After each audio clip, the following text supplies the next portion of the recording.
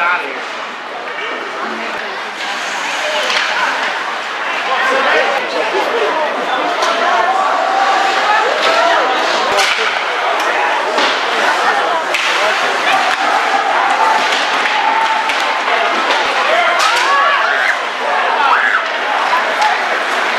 game was an important game, just like everyone. But Central's always a tough team, and we uh, we really had to win this. We had a tough loss last night, and back-to-back games are pretty tough. So we just really wanted to come out hard. We played a strong game.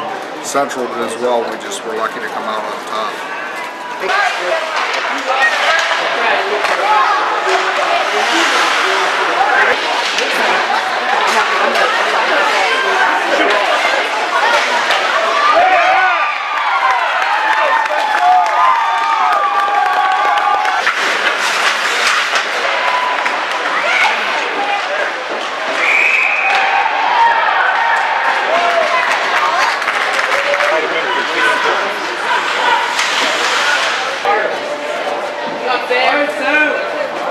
Last year's team, that's a different team. That was a special thing, but very special for, I think they had four guys from the first team in 72, 73, so it's special to have the old guys and the young guys together. You know, I mean, everybody was up for tonight because it's, you can't be down after a loss, but they were ready for, to, you know, to show the fans. Yeah, I can feel excitement.